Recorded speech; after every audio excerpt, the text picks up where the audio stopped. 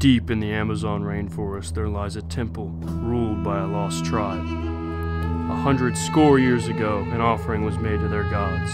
They played a game for them. That game was basketball. The gods quickly smited this foolish activity, but the people continued to play, so they were cursed with a madness. March Madness. Guys, we gotta stop this March Madness. I can't stop the madness. Don't move, big.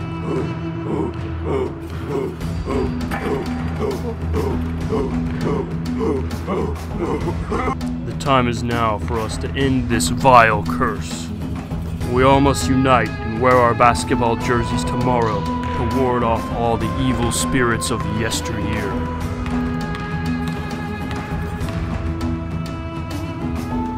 Do you want the madness to stop?